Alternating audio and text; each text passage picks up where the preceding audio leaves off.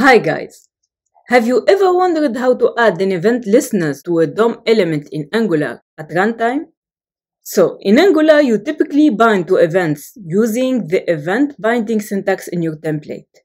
However, if you want to add an event listeners at runtime, you can use the Renderer2 class, which provides an API that can safely be used even when direct access to native elements is not supported. Let's see an example of this. In this source code, we are looping through a list of fields, and for each one of them, we are creating a span element, then using Renderer2 to add style sheets to it by calling the method render add class.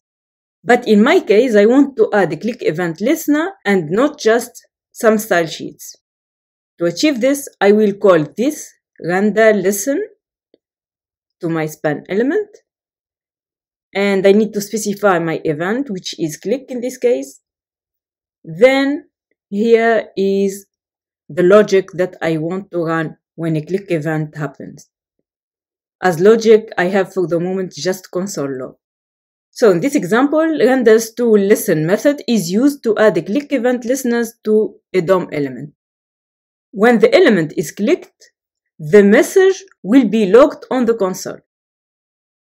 Just remember to clean up, or in other words, to unsubscribe the event listener in the ngOnDestroy lifecycle hook to prevent memory leaks. The listen function returns a callback that, when called, will remove the event listener. This way you can dynamically add event listeners in Angular.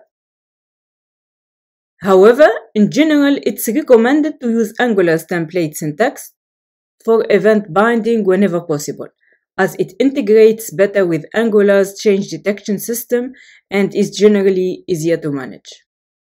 So I hope that was helpful.